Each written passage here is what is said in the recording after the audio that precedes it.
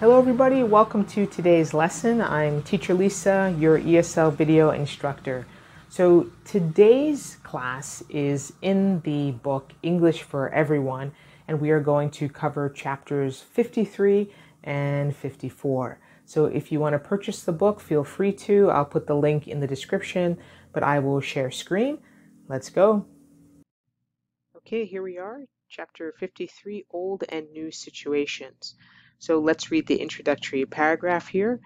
New situations may seem unusual, but over time they become familiar. You can use phrases that contain be used to and get used to to talk about this. So those are the two phrases we're going to get practice with today. So our new language, be used to and get used to, moving and living abroad, talking about old and new situations. So let's look at our key language and our first example. So let's first look at the example sentence here. So I'll read it. Waking up early for my new job was difficult at first, but eventually I got used to it. So what is the significance of this phrase? Let's look at the side note here. To get used to or to get used to doing something means that you adapt to new or different circumstances so that they become familiar. So over time, when we do something long enough, we adapt or it becomes familiar. So that's when we use that phrase, get used to. So let's look at the next example. Let's look at the sidebar first. The note says to be used to doing something or to be used to means that you have done it long enough that it's normal and familiar. So the next example, I've lived in the city for years so I am used to the bad pollution. So in the first example, we're adapting, waking up early, I got used to it. Or we can use the synonym, right? I adapted. In the second example, I'm used to the bad pollution. We've just been exposed to it long enough, it's become familiar. So I'm used to. Let's continue. we have our tip bar, and I'm going to read it here, or our tip circle. Do not confuse these phrases with used to without the verb to be or get, which is used when talking about a regular past action. So you might have already asked yourself, what about the phrase used to? So for example, if I said, I used to go skiing in the mountains, I used to go skiing in the mountains. I'm not using the verb to be. There's no no am or is or are. And I don't have get in front of the word used to. So again, the example sentence, I used to go skiing in the mountains. So what does that mean? That means in the past, I did something regularly. It became a regular habit or regular past action.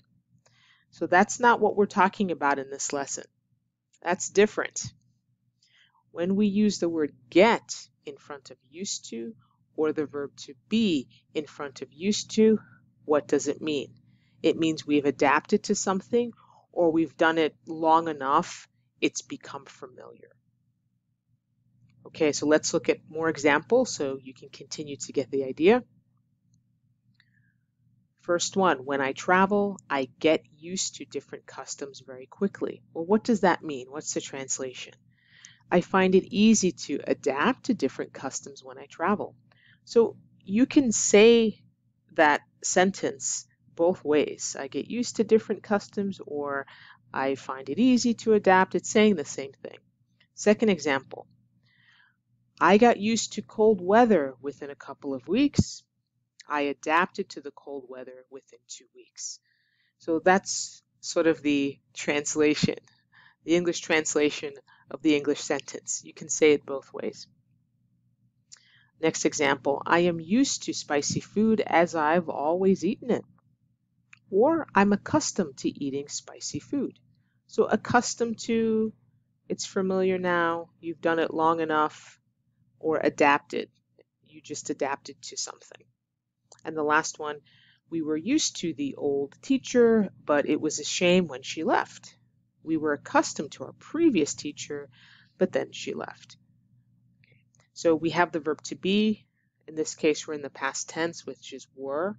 So was or were, is or are or am is the verb to be. So when we have that in front of used to, or if we have got or get in front of used to, what does it mean? We've adapted, we're accustomed to something, or we've done it long enough, it's become normal, it's become familiar. Okay, we're going to move on and do an exercise now.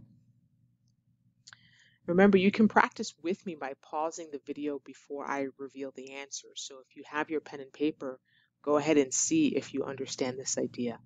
You have to cross out the incorrect word in each sentence. So let's look at the first example. When I visit the UK, it takes me a while to get used to driving on the left side of the road. And so you had to adapt. Let's look at 1 through 8. So what I'll do is just read it with the correct answer, uh, and you can pause the video, and then you can come back and see if you got them all correct. Okay, so number one. My parents are used to living in an old building, but the creaking floorboards scare me. Number two. They were used to eating with chopsticks, but it was new to me. I found it hard. Okay, number three. Again, Check your answers. My friend said I'd get used to eating my dinner late at night after a few weeks. Number four, it took a while, but now I am used to recycling all my paper and plastic each week. Number five, his friends found it strange, but he was used to doing things without using the computer. Number six, it was difficult at first, but I got used to the new routine after a few months. And number seven, we were used to the old system at work, but then it changed completely. And number eight, eventually I got used to answering the phone in English. It always feels natural now. It almost feels natural now, excuse me. Uh, hopefully all of us will be able to say that. Speaking in English, conversing, being on the telephone, writing emails in English will become natural. You'll get used to it. So again, when do we use get used to? When we do something long enough, it becomes normal or familiar. And when do we use I am used to? When we have to adapt with the verb to be, and used to when we have to, we just adapted. Okay, we're going to continue on. We're not going to do all the exercises in this unit. We just want to do a quick review of used to. Uh, that was with the example I gave you earlier. I used to ski in the mountains. I used to go skiing in the mountains. And so I'm going to read the side note. You can use used to without the verb to be or get with an infinitive to talk about past habits. You can also use it to talk about fixed states in the past but only in an undetermined time frame. So we're not talking about a specific time frame, we're just talking about in the past. So the example sentence, we used to play tennis every day, but now we prefer golf. Right? So we're not giving you an exact time frame. All we are doing is referring to the past. We're not giving specific years or dates. We're just saying in the past this was a, a habit. Next one. Again, just refers to a past state okay, not a past action. Right? We used to live in London before we moved to Sydney. So this was just a fact. It's a state. It's not an action. It's just uh, letting you know this was the state or the situation in the past.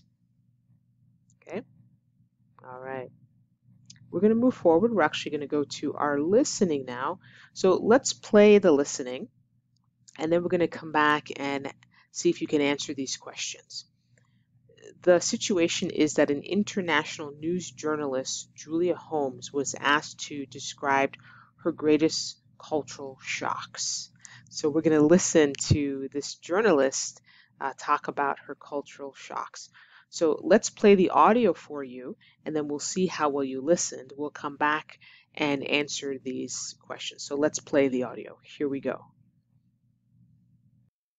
I used to be surprised at the personal nature of the questions complete strangers would ask me. But I've lived in so many places now that I'm not surprised anymore if someone asks me, for example, how much do you earn? Or when do you plan to have children? I remember being pleasantly surprised in Spain when I discovered that lunches with family and friends can actually take several hours. I remember the first time I went for lunch with a friend and her family. I expected it to last about two hours. Instead, it lasted eight hours. I missed the last train back to my town and ended up staying the night.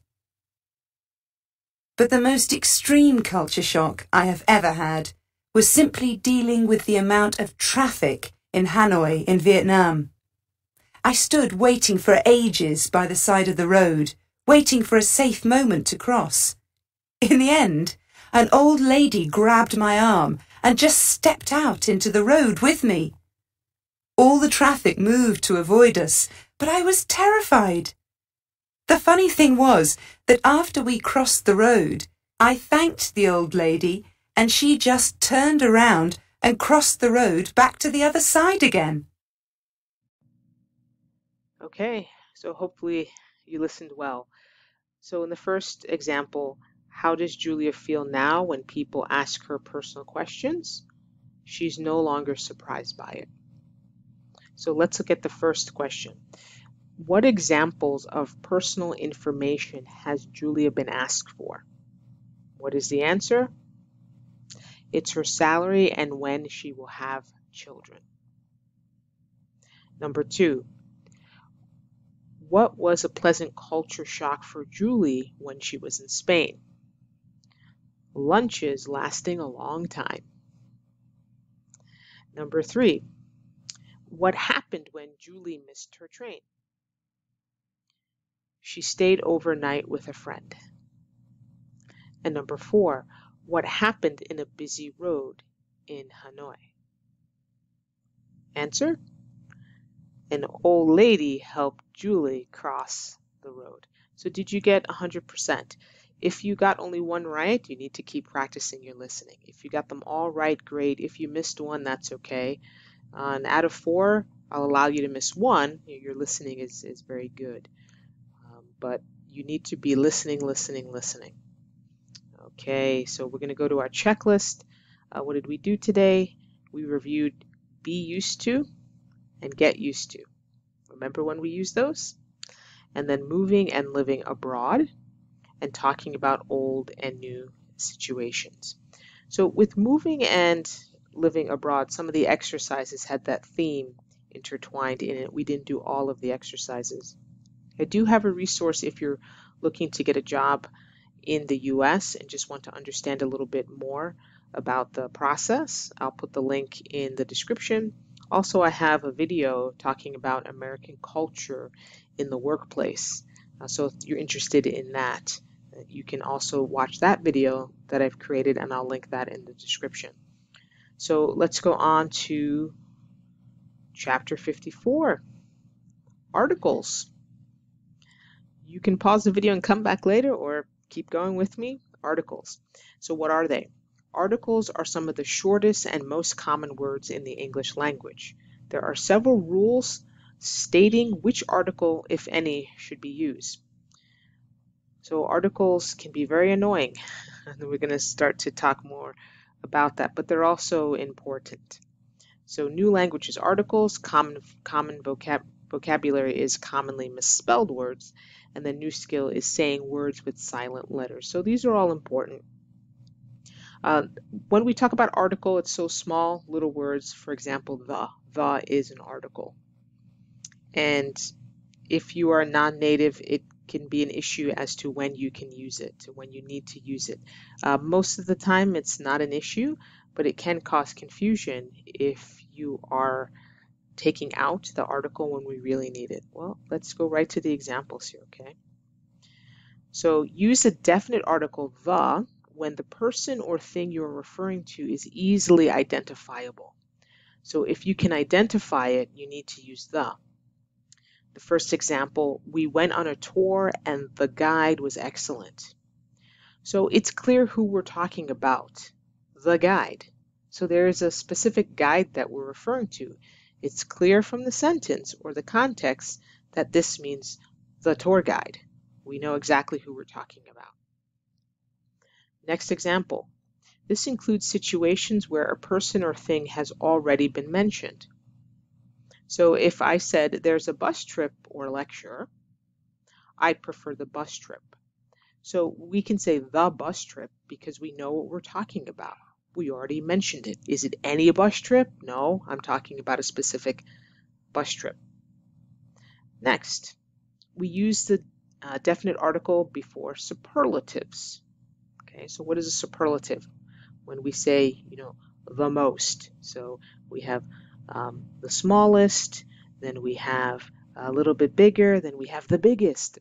So a superlative, right?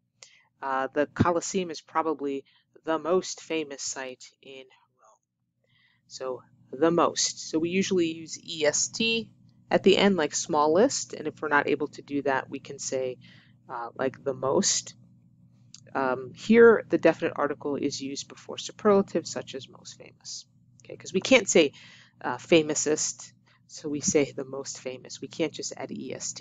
We can say like the biggest, uh, because we can just add that est. Next, the definite article is also used with unique objects. Unique objects. I'm going to the Trevi Fountain before I check out. So this fountain is a unique object. Next, it's also used for people with unique titles. So we like to say the Pope is visiting another country this week, right? That's a unique title. Does anyone else have the title Pope in the world? No, it's just one man that has a title. So the Pope. In the US, we might say the President because there's only one office of the presidency in the United States and other countries too, right? The the Pope, the President, you know, or the Mayor. So with a unique title, we need that definite article the. So these are all reasons why you need the the Okay. indefinite article now. So we use the indefinite articles a and n when the exact person or thing you are referring to is unknown. This is different than what we just discussed. We use the when we are sure about what we're talking about. We had those different examples. Here we use a or an, or sometimes we just say a, either one is fine, when we don't know. First example, we are trying to choose a vacation. The vacation is a new thing that is being introduced. So we have to say a vacation. We didn't even go on vacation yet. I don't know what vacation we're talking about. A vacation to the Philippines, a vacation to Thailand, a, a vacation to Australia. We don't know. We haven't we haven't tried. We haven't gone on vacation. So you have to say a vacation. The next, also use the indefinite article to talk about an entire class of people or things generally. So we use a when we're being very general, we're not being specific. So India is a fascinating country to visit. India is a fascinating country to visit. So we're just talking in general. Just the country in general is very fascinating. So do you understand the difference between when we use the and a? Let me give you a pop quiz. Pop quiz time now, everyone let's say I have a dog and I'm going on vacation and I want you to feed my dog. So is it correct to say this? Okay, let's say your name is Michael. I'll say, Michael, please feed the dog. I'm going on vacation. The dog food is under the counter. Or is it correct to say, Michael, I'm going on vacation. Uh, please feed a dog the dog food is under the counter. Is it correct to say feed the dog or feed a dog? Feed the dog or feed a dog? Well, do you know what dog we're talking about? Yes, you know you're talking about my dog. It's clear. I'm not talking about feeding a dog, just a dog in general. So we know which dog, you have to say the dog. That's grammatically correct to say please feed the dog. All right, let's try to do some exercises. Okay, next one. Cross out the incorrect words in each sentence. So you know the drill, or you know the or you know the routine. Pause the video, see if you can get it correct. Okay, we have four of them, so go ahead and do that. Let's just look at the example first. Many of the largest cities in the world are in China. We learned that before superlative, the EST, like largest, biggest, we use the. So that's the reason for the the. Okay, let's do the next four. Okay, number one, I want to visit a really modern city like Tokyo. A really modern city like Tokyo. So we're just talking in general. Um, I'm not saying specifically Tokyo, I'm just saying like Tokyo, so just generally same kind of city, so we're just going to use A. Number two, I've always wanted to go up the Empire State Building. We're being very specific. The Empire State Building. So we have to use the or the. Either way, you can say the or the, doesn't matter. Number three, uh, should we go to the restaurant we ate at on Friday? We have to use the because it's very specific. We're saying we ate there Friday, so you know which restaurant I'm talking about. So you have to use the. It's not a or an restaurant. It's it's the restaurant. And number four, did you ride on a gondola in Venice? So we are not being specific. I don't know which specific gondola you rode on, but we are talking uh, in general. So we have to use a gondola, any gondola, a gondola. So did you get them right? I hope so. Let's continue on. The zero article, zero article. So what do we mean? Let's read the side note. You do not need an article with uncountable and plural nouns when you want to talk generally rather than specifically. This is also called the zero article. Okay, so look at that again. You do not need an article. You do not need the, you do not need a, you do not need and with uncountable and plural nouns. So if the noun is plural or it's uncountable, you can't count it, you don't use an article. Okay?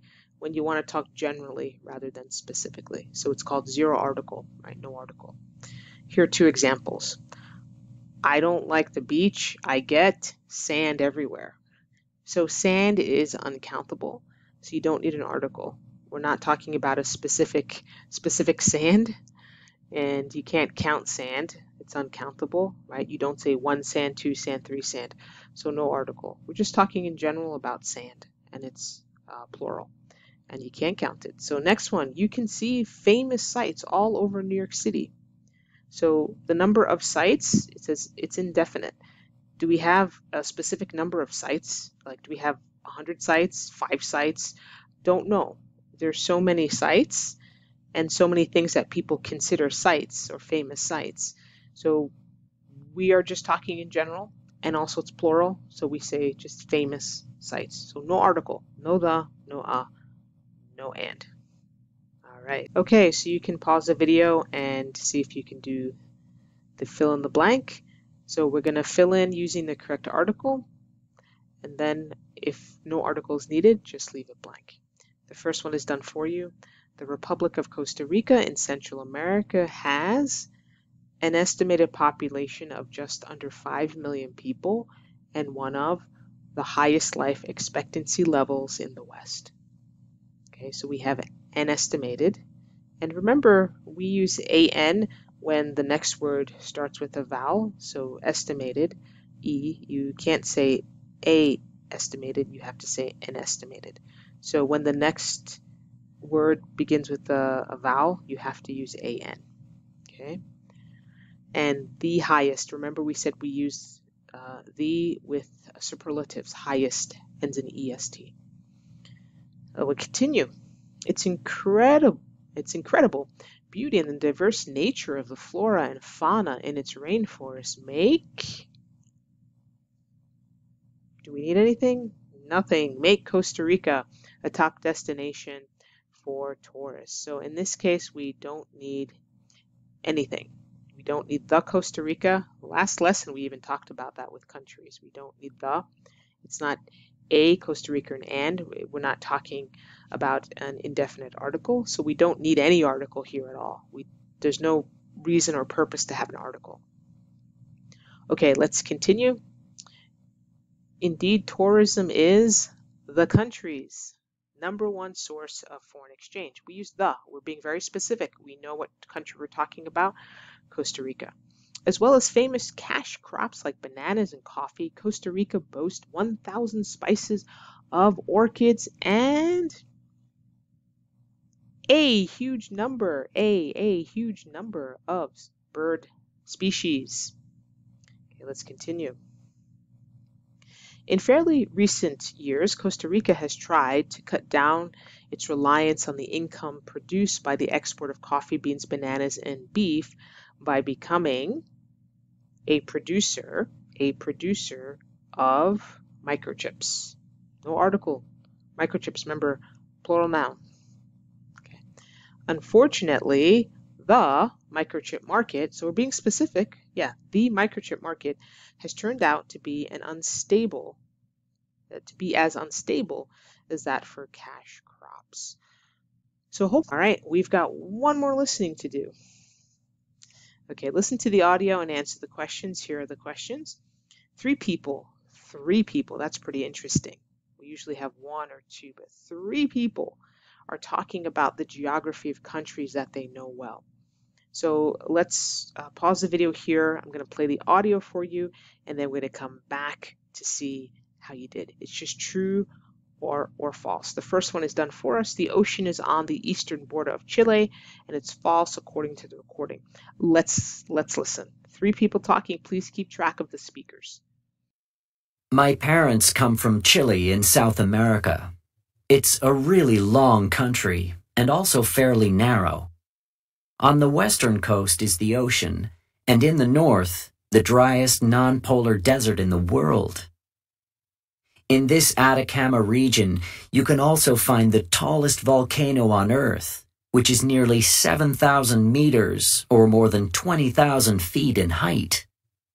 What foreigners sometimes find a little weird is that even though we have desert in the north, in the south, there are mountains, glaciers, and lakes made from melted glaciers. So you can see, it's a very varied country geographically. I live in South Korea, which is the southern part of the Korean peninsula. We have sea to the west, south, and east, and there are many islands, especially to the south and west. One of these islands, Jeju, is a famous tourist attraction because it is so beautiful and dominated by a high extinct volcano. To the east of the country, there are high mountain ranges. The weather can be really changeable. Sometimes there are typhoons that cause floods and high winds. My father is from Casablanca in Morocco. Morocco is a country in North Africa, and only a thin strip of sea separates it from Europe. Occasionally, this surprises tourists who expect North Africa to be a lot further away from Europe. The geography of Morocco is incredibly varied, with beach towns in the north and drier desert terrain in the south. Across the middle of the country are the beautiful Atlas Mountains. Okay, let's see how you did. All right, everybody. Number one, Chile contains extremely dry deserts and also lakes made from glaciers. That's true. Number two, most of South Korea's islands are to the east of the country. That's false. Number three, the weather in South Korea can be quite dramatic. It's true. Number four, Morocco is in the south of Europe near North Africa. That's false. And Morocco is generally drier in the south than the north. That's true. So hopefully you got five out of five. This is just a good reminder that there are many people who aren't very good at geography and they might not know where your native country is on the map or on the globe, aren't sure where your country is, and you might be surprised at that. So get very good at describing where your country is. Use words such as directional words, north, south, east, west, southwest, and words like, you know, I live in the city, I live in the countryside, um, I'm in an urban city, I'm in the rural uh, countryside, I'm on the coast, I'm close to the capital, I'm in the interior, I'm in the center of the country. Doing those kinds of things really does help the listener understand where you live. So get very good at describing your region, where you live, and the country.